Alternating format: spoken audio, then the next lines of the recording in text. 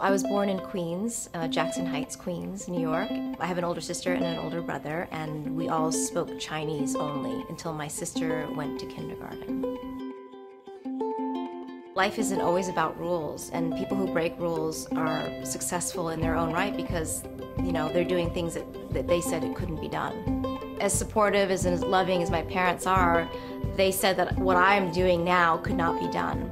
And I can understand that because at the time there really were no Asian people in the entertainment business in America. And that's changing and it's changing slowly, but there has to be someone that starts that.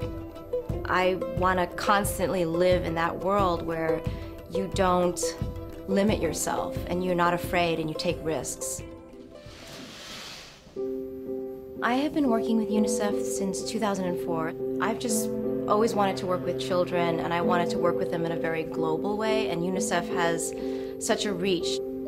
I'm also involved with the, the Ignite program at BAM, which is uh, an arts program for, for kids.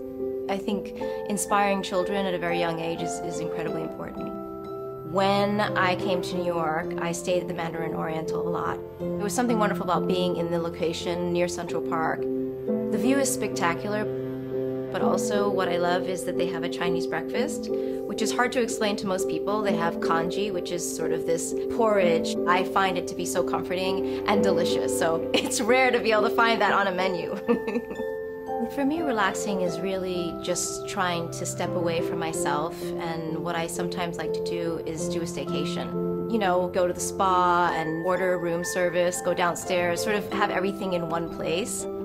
And I have to say that one of the most luxurious things is to go and stay at the Mandarin Oriental.